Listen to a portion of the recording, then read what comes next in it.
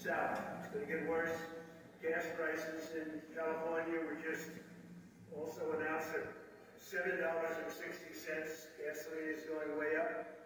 Energy costs are going way up. And the stock market is, uh, in a sense, crashing. The numbers are very bad. This is Bidenomics. It's catching up with them. It's lucky that it's catching up before he leaves office as opposed to after he leaves office. But this is Bidenomics. It's destroying our country at the border, destroying our country with other countries. They no longer respect the United States. I think the dollar's in tremendous trouble in terms of currency. This is going to be the standard, and it's going to be the standard with me. With Biden, we're going to lose. The dollar is the standard. That'll be like losing the biggest war we've ever lost and it's a shame, but it's uh, all the way down to 1.6, and I'll tell you, nobody thought that would be possible, and it looks like it's heading down from there. So that's very bad news. Uh, this morning I met with great people, construction workers, some Teamsters, and other unions, and some not in unions, and we had a, a fantastic morning. You were there, some of the presidents there.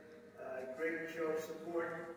As you know, some tremendous polls came out over the last 24 hours where we're up in all of the swing states and up nationally.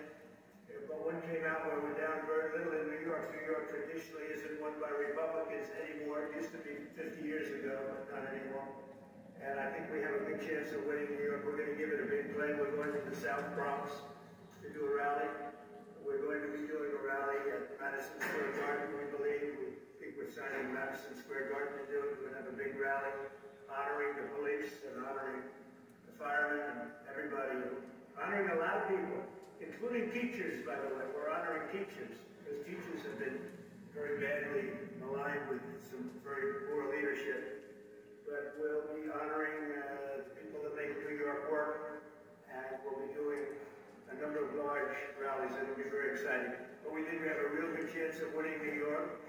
And again, the swing states we're leading in every one of them, and by a lot, not just by a little, by a lot. But the big news today, I think, is the 1.6%. Uh, when you look at 1.6 GDP, that's a number that nobody thought was possible. That's a real bad number. And it looks like the projections are heading in the wrong direction. And that's why the stock market's down so big today. So in the meantime, I'm at this trial.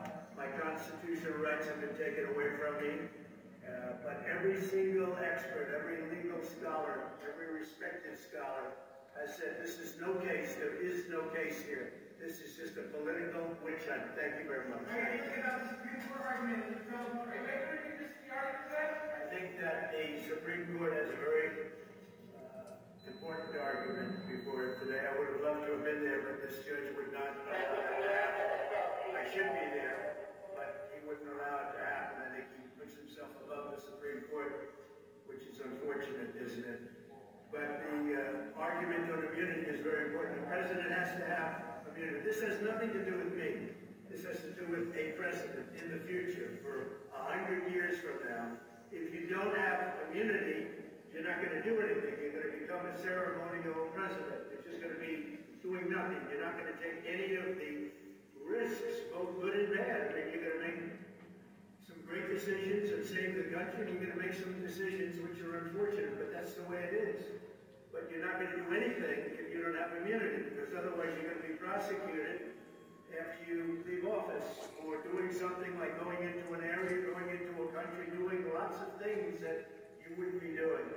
And we don't want a ceremonial president. We have to have a real president and assuming you have the right person that can make a big difference. You saw that for four years when I was president. We were respected all over the world. We had the best economy we've ever had. Everything was good. We had no wars. We defeated ISIS. We had no wars. We had no nothing.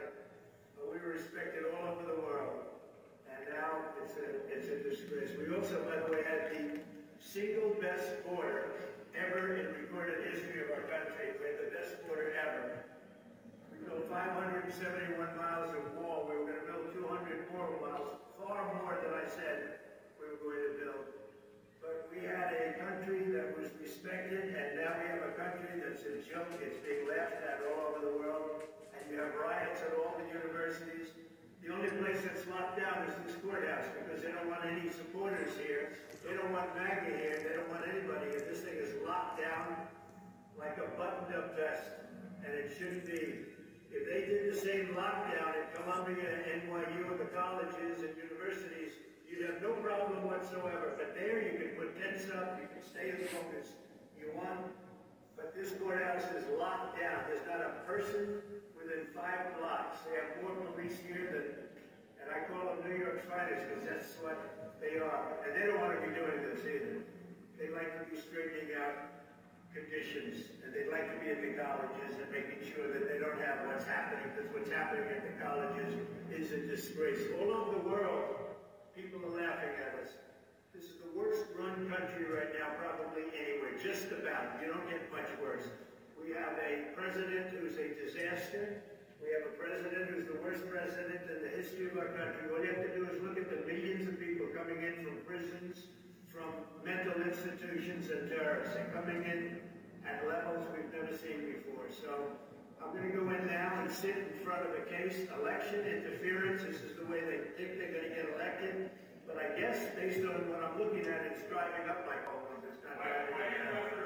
Thank you very much.